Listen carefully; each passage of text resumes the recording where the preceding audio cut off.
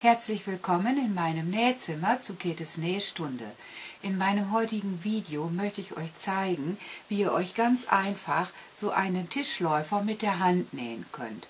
Der Tischläufer hat rundherum einen doppelten Saum und den Saum habe ich ganz einfach mit dem Staffierstich oder auch Blindstich genannt festgenäht.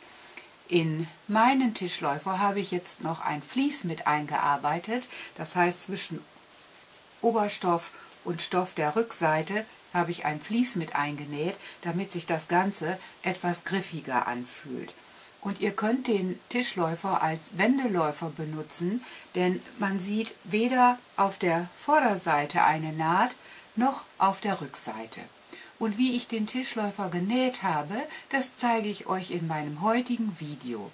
Ich wünsche euch viel Spaß beim Zuschauen.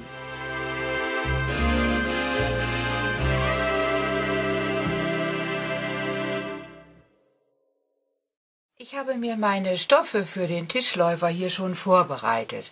Und zwar möchte ich ja einen rechteckigen Tischläufer nähen. Da habe ich für die Rückseite diesen Stoff ausgesucht und für die Vorderseite diesen Stoff und dazwischen lege ich noch ein dünnes Baumwollvlies. Und wie man sieht, habe ich den Stoff für die Rückseite größer bemessen.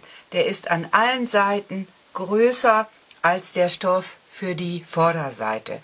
Und zwar habe ich den Stoff für die Rückseite deshalb größer bemessen, weil ich ja hier einen doppelten Saum nähen möchte, so dass ich dann hier rundherum um den Tischläufer später diesen Saum habe. Mein Saum soll später 4 cm breit sein. Deshalb habe ich das Stoffstück für die Rückseite an allen Seiten 11 cm größer zugeschnitten, an beiden schmalen Seiten 11 cm größer und an beiden Längsseiten 11 cm größer. Das Vlies, was ich dazwischen lege, das muss wiederum kleiner als der Rückseitenstoff sein, aber etwas größer als der Stoff der Vorderseite.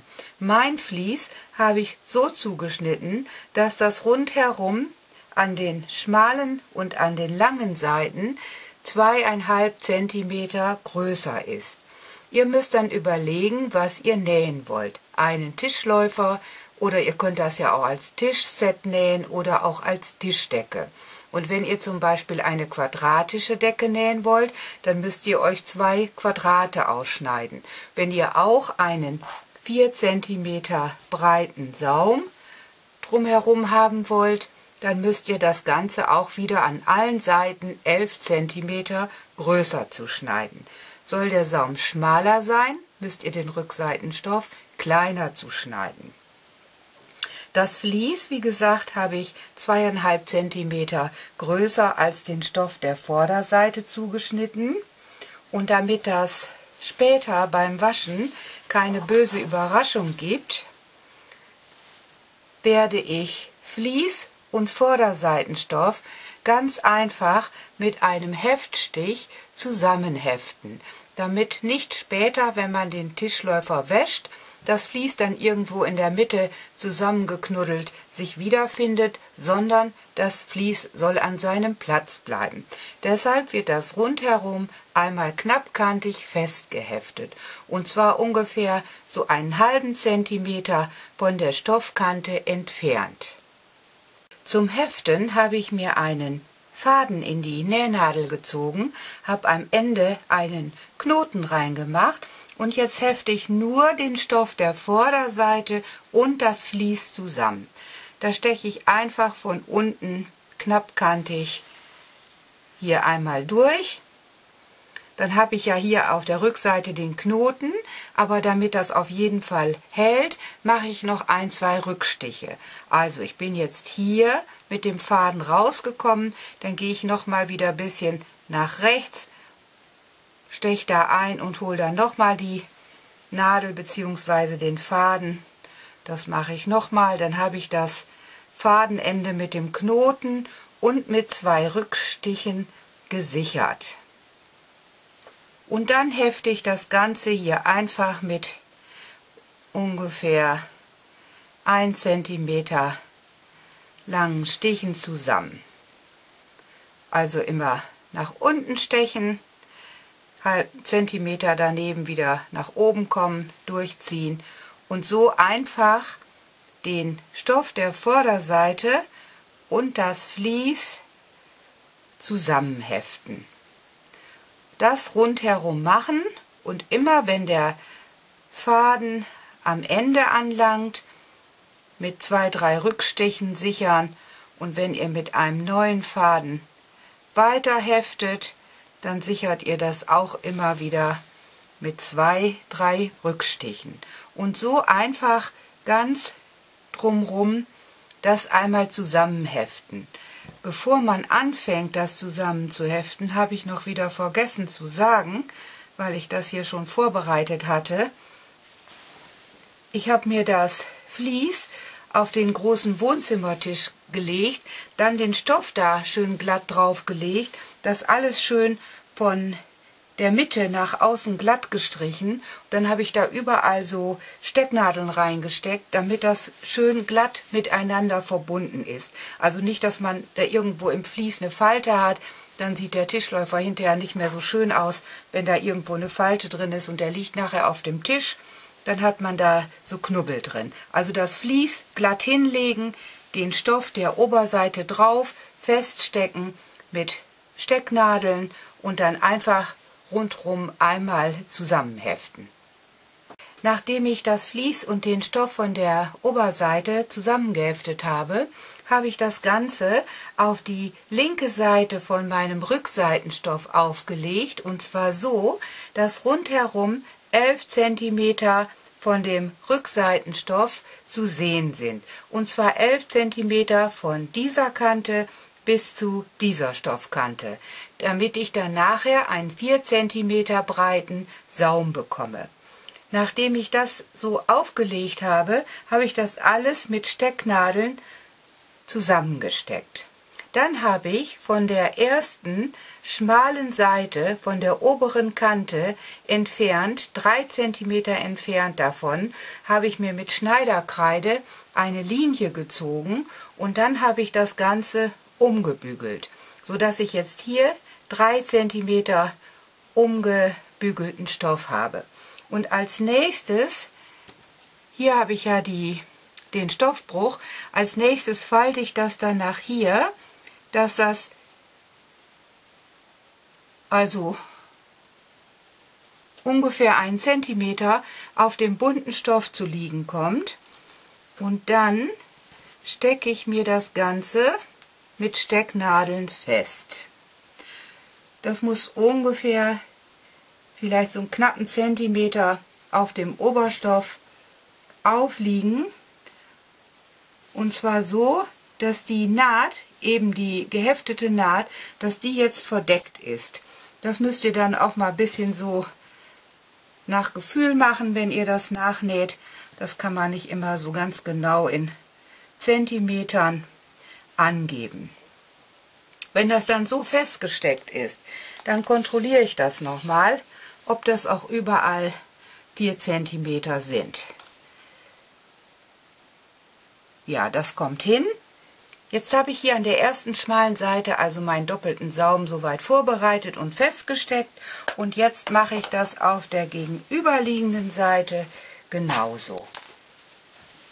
Da zeichne ich mir auch erst eine Linie ein, 3 cm hier vom oberen Stoffrand entfernt, dann bügele ich das, dann falte ich das um, so dass ich dann wieder einen Umschlag habe von 4 cm. Jetzt habe ich die ersten beiden Seiten so gefaltet, gebügelt und zu einem doppelten Saum gesteckt. Und zwar die ersten beiden Seiten, die sich gegenüber liegen. Ich habe mit den schmalen Seiten angefangen. Und nachdem ich die beiden schmalen Seiten, die sich gegenüber liegen, so gesteckt habe, habe ich das gleiche mit den beiden langen Seiten gemacht. Also vom Stoffrand entfernt drei Zentimeter eine Linie gezogen, umgebügelt und dann festgesteckt auf dem Oberstoff. Dabei nicht an Stecknadeln sparen. Ich habe hier bis auf zwei Stecknadeln habe ich alle aufgebraucht, die ich hier in der Mitte so reingesteckt habe oder eben am Saum, damit das alles schön glatt liegt und das nachher ein schöner Tischläufer oder eine Tischdecke oder ein Tischset wird. Nachdem ihr dann alle vier Seiten so gesteckt habt, habt ihr solche Ecken bekommen. Ich habe erst überlegt, ob ich meinen Tischläufer mit Briefecken mache. Das ist auch ganz einfach, aber ich konnte mich nicht dazu entschließen. Ich habe irgendwie das Gefühl, dass Briefecken zum Oberstoff nicht passen. Ist wahrscheinlich Einbildung, deshalb habe ich das dann so mit dem doppelten Saum gefaltet, wie man das auch bei den Amish-Quilts macht. Da sind auch die Ecken meistens so gerade, also nicht so mit Briefecken bei den Quilts, sondern das wird dann so gerade genäht. Und so habe ich das jetzt hier auch einfach gesteckt mit einem doppelten Saum, sodass man so gerade Ecken bekommt. Und wenn ihr zuerst die beiden sich gegenüberliegenden Seiten faltet und steckt und dann die anderen beiden Seiten, die sich gegenüberliegen, dann habt ihr hier an der Ecke immer den Stoffbruch. Das heißt, alle vier Ecken sind richtig schön sauber. Und jetzt möchte ich ja meinen Tischläufer mit der Hand nähen. Wenn ihr das nicht möchtet, dann näht ihr einfach hier knappkantig mit einem ganz normalen Gradstich, Stichlänge 3, einmal ganz drumrum. Auch hier dann natürlich auch. Also vielleicht dann erst die schmalen Seiten und dann von hier oben nach unten einfach mit einem ganz normalen Gradstich, Stichlänge 3, könnt ihr da knappkantig entlang nähen.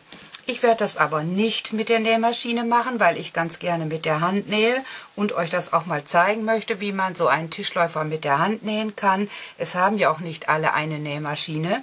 Ich nähe das jetzt einfach hier mit dem Staffierstich fest oder Blindstich sagt man auch nähe ich einfach mit der Hand hier fest, dann sieht man hinterher auch kaum Stiche.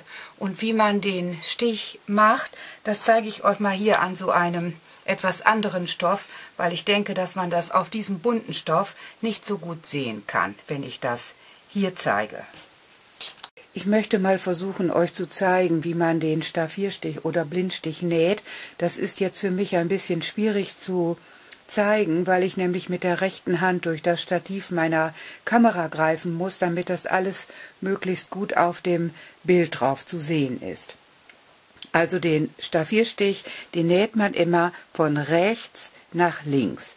Und hier auf dem vorbereiteten Stoff wäre jetzt dieser obere Teil hier der Saum und der untere Teil wäre in meinem Fall der Stoff von der Vorderseite von meinem Tischläufer dann beginnt man damit, dass man hier am Saum hat man ja den Stoffbruch, dass man da von hinten einsticht mit der Nähnadel und in dem Stoffbruch wieder rauskommt. Dann habe ich ja den Faden in meiner Nadel und am Ende des Fadens habe ich einen Knoten gemacht, damit das aber alles gesichert ist, mache ich hier so zwei kleine Rückstiche in dem Saum, in dem Stoffbruch. Einfach zweimal so einstechen, damit das auch wirklich gut gesichert ist. Jetzt kommt mein Faden hier im Stoffbruch raus. Und als nächstes steche ich hier unten ein, und zwar einen halben Zentimeter links von dem Punkt, wo ich hier mit dem Faden rausgekommen bin. Da steche ich jetzt ein und komme einen halben Zentimeter davon entfernt wieder raus. Jetzt steche ich wieder oben ein. Also hier ist der Faden rausgekommen aus dem unteren Stoff, halben Zentimeter weiter nach links, oben steche ich da ein und komme einen halben Zentimeter entfernt ungefähr wieder raus. Jetzt ist der Faden wieder hier oben.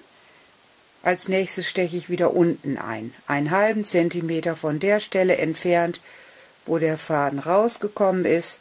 Da steche ich wieder ein, einen halben Zentimeter davon entfernt, wieder links raus. Und so geht das immer weiter. Einmal oben einstechen in den Stoffbruch und einmal unten einstechen. Und so kann man dann den ganzen Saum festnähen. Wenn ihr jetzt hier mal guckt, hier, da habe ich jetzt mal ohne Kamera genäht und da sieht man jetzt wirklich kaum was von der Naht. Ich habe ja jetzt auch extra so einen auffälligen Faden genommen.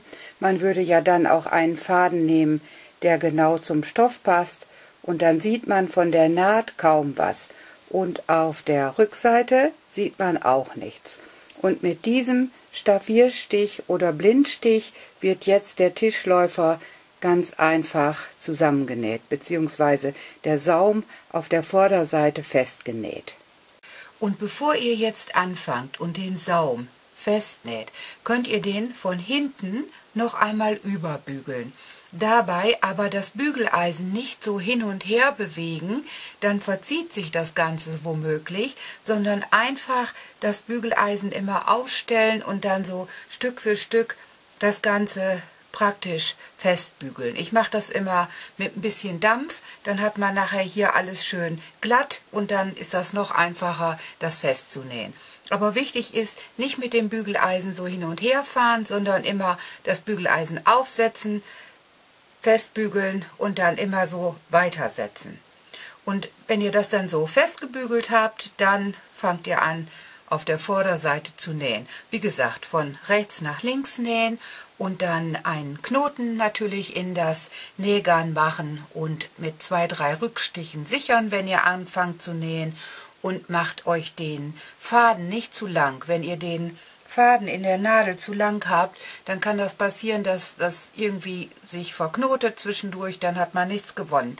Also kann man besser lieber immer mit einem etwas kürzeren Nähfaden nähen und kann dann den zwischendurch äh, festnähen, wenn er zu Ende ist, also mit Rückstichen sichern und dann nimmt man neuen Faden und näht weiter.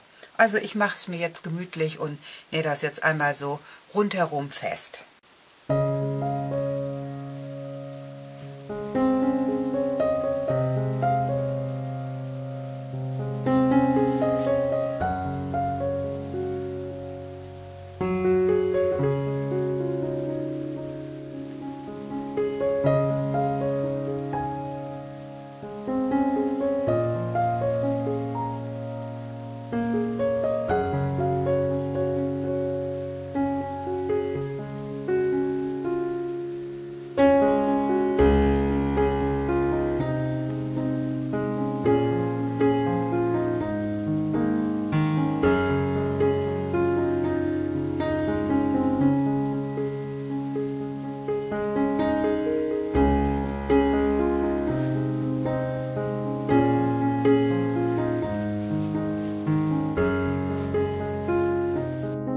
Mein Tischläufer ist fertig.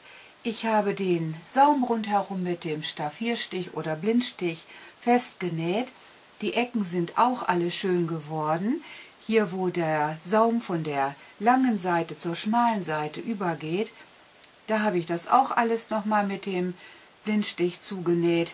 Und dann habe ich den Tischläufer gebügelt und jetzt ist er fertig. Und ich kann ihn jetzt also von dieser Seite auf den Tisch legen oder eben von der Rückseite, dass man die als Vorderseite nimmt, dann hat man einen schlichten Tischläufer.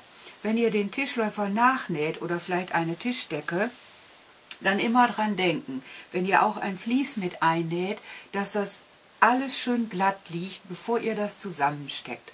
Also das könnt ihr zum Beispiel auch auf den Fußboden legen. Den Stoff von der Rückseite, da drauf das Vlies, da drauf den Stoff von der Oberseite und dann von der Mitte alles schön zur Seite, schön glatt streichen und dann alles schön feststecken. Also nicht mit Nadeln sparen, alles schön feststecken, dann klappt das bei euch bestimmt auch, wenn ihr den Tischläufer nachnähen möchtet. Meiner ist jetzt wirklich gut gelungen, da ist alles schön glatt, aber ich habe ja auch fast eine ganze Packung Stecknadeln beim Nähen da reingesteckt und das ist eben so, wenn man ein bisschen mehr Vorarbeit macht, dann hat man hinterher auch ein schönes Ergebnis. Also ich hoffe, meine Nähidee hat euch gefallen und wenn ihr so einen Tischläufer nachnähen möchtet, dann wünsche ich euch viel Spaß und viel Erfolg dabei. Bis zum nächsten Mal. Tschüss!